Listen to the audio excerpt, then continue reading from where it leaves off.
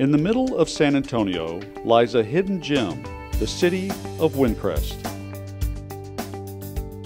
With its own police department, award winning volunteer fire department, post office,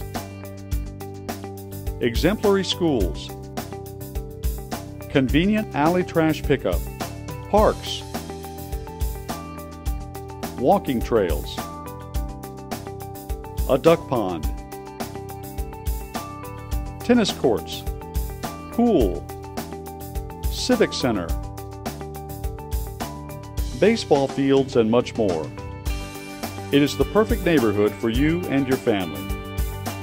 Come and enjoy the laid back atmosphere with an active community you and your family can grow with. So come, explore Windcrest, live Windcrest, go Windcrest.